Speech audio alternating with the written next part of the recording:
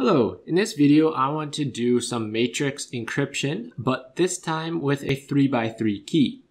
The whole process is exactly the same as with a 2x2 encryption key for matrices, um, but we'll just see the subtle difference when you have a 3x3 for your key. And of course, having a bigger matrix, a 3x3, will make it a little bit harder to crack, a little bit more toughly encrypted for your message. So with the encryption, I already have the key I'm going to use. It's that 3x3 matrix. Um, it has an inverse because that's essential whenever you choose your key. You've got to be sure that you can find an inverse matrix for it. Okay, and so I have that for this one. So then I can go and a message I'm going to try and encrypt is the plan is ready.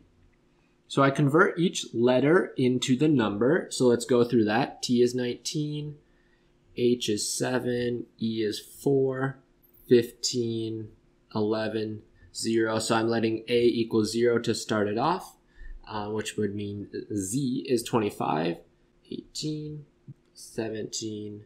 And then because I am using a 3 by 3 key, the message matrix that I put my message numbers into, it has to have three rows and any number of columns, okay? Just to make sure the matrix multiplication works. I'm gonna make this a little bigger. It has to have three rows, okay, so that we can actually perform that multiplication. But then how many columns?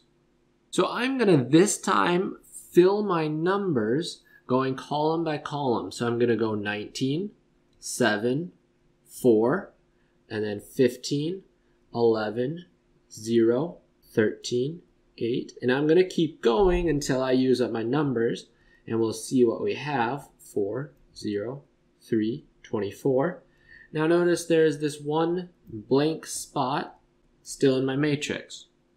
So I can't just leave nothing there, but I have to fill it in.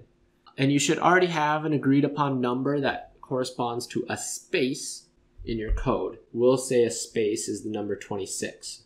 So I put a 26 to fill it in. So any blank spaces left in my matrix, I'm going to fill in with a 26. And this gives me a 3 by 5 matrix. So this time I filled it by column because that was kind of easier to just go through column by column by column and fill in the blank spots with 26. If I wanted, I could fill it by rows just the same, it just requires some planning ahead.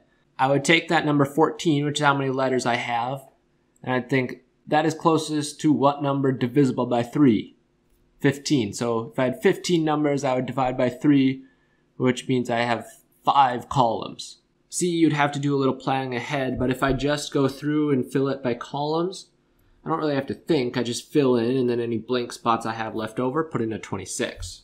I've set up my message matrix now, so I have my key and my message matrix, and I'm going to multiply them together, and that will create a 3 by 5 matrix for me. And then we just have matrix multiplication. So to start off, I would take first row times first column.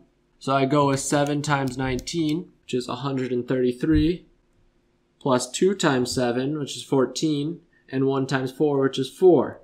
And then, so this is tuplet multiplication, which you can see how it adds to making this harder to decrypt. I take first row times, we'll go second column. So I have to go 7 times 15, which is 105, plus 2 times 11, which is 22, and then 1 times 0, which is 0. And we go through like that for every slot in there. So I'm going to go through and perform that multiplication. You can do it by yourself and we'll check in once I get that multiplied. Okay, great. So I have found my numbers after multiplying them and this gives me the encrypted matrix. So we have the key times the message matrix gives the encrypted matrix. So you would send that off to your recipient, the encrypted one, um, and then they would already have access to the key. They would already have access to this matrix somehow, and they would then receive your encoded message matrix and they would have to decrypt it.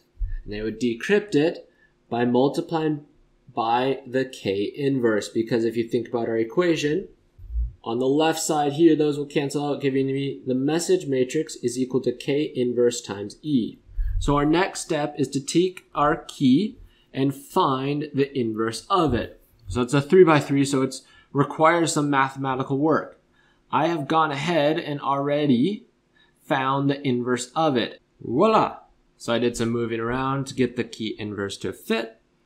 And now I take my key inverse, and so I did just use a online inverse calculator to figure that out real quick. And I would multiply this by my encrypted matrix. And once I perform that multiplication, it is going to return me the original message matrix decrypted. So then we will multiply our K inverse times the encoded matrix. And what do we get? Well, we'll get that 3 by 5 message matrix. And we're going to take first row times first column to start off. So you have negative 2 times 151 gives you negative 302 plus 8 times 17, which is 136. And then you have negative 5 times negative 37, which gives 185. You add those together, what do you get? Well, you get 19. And then I could go ahead and I could figure out what is first row times second column. I perform that operation and I would get 15. And I would get 13 on the next column, and then 17, and then 3.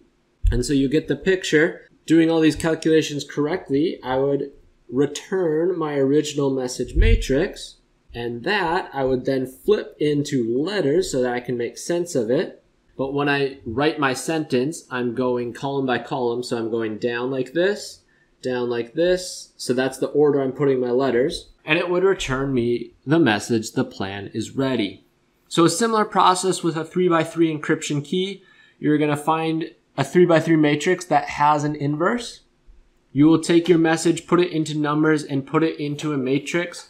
Easiest way to put in a matrix is fill it by columns like this. Multiply the key times the message. Send the encrypted message to your recipient. They will find the key inverse and go key inverse times the encrypted matrix to get the original message.